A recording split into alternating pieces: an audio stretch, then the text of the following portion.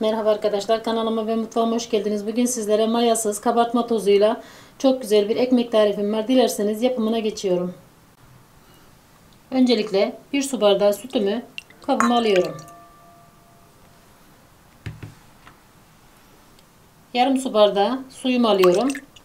Koyduğumuz malzemeler oda sıcaklığında olursa çok güzel olur.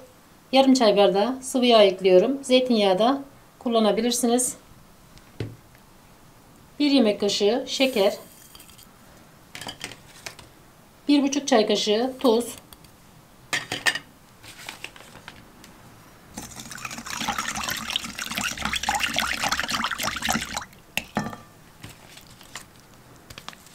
bir buçuk paket kabartma tozu katıyorum.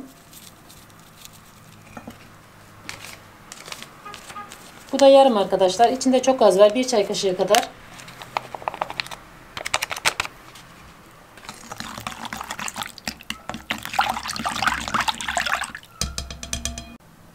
Unumu azar azar ilave ede ede hamurumuzu yoğuralım. Ununu bir yanda dökmeyelim. Kıvamı geldikçe azar azar gerektikçe ilave edelim.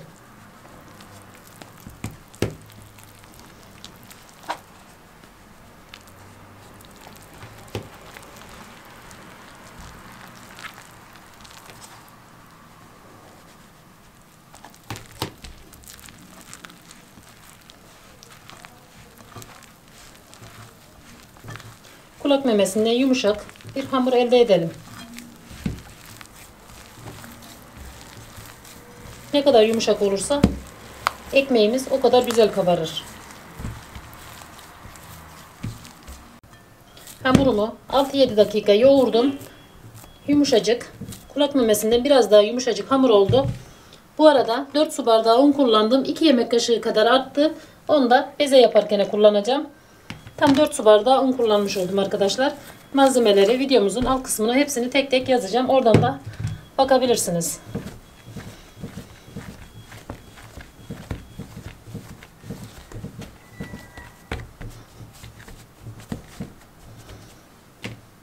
Şimdi hamurumdan 6 tane eşit beze çıkartacağım.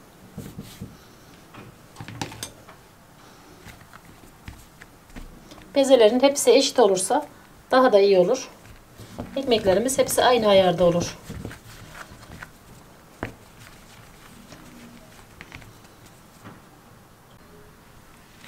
Altı tane beze yaptık arkadaşlar. Sıra geldi şekil vermeye. Bu şekilde yuvarlayalım.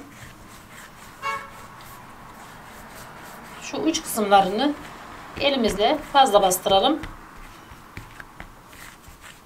Bir de bezelerimizi büyük almayalım. Kabartma tozu olduğu için içi rahat pişmeyebilir. Bu şekilde hazırlayalım. Şekil vermesi çok kolay gördüğünüz gibi. Hazırladığımız hamurlarımızı tepsimize koyalım. Bu arada fazla tombul yapmayalım. Tam çapı bir karış oldu. Tepsimize dizelim.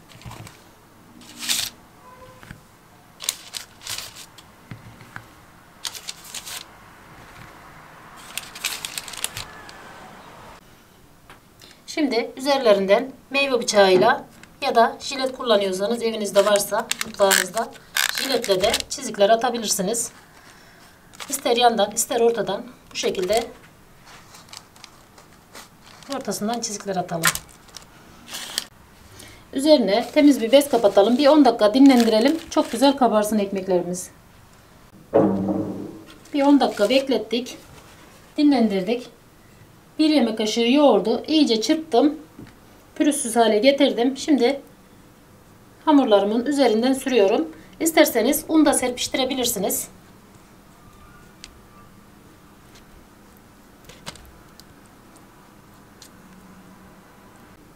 Yoğurdunu sürdükten sonra fırına girmeye hazır. Önceden ısıttığımız 180 derecelik fırınımızda üzerleri kızarana kadar kontrollü bir şekilde ekmeğimizi pişirelim.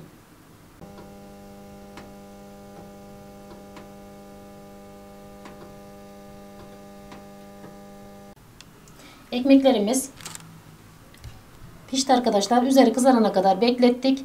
Bu arada sabah sabah mis gibi de koktu.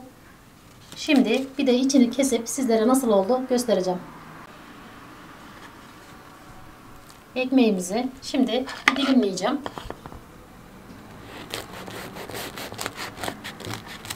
Gerçekten çok kolay oluyor arkadaşlar.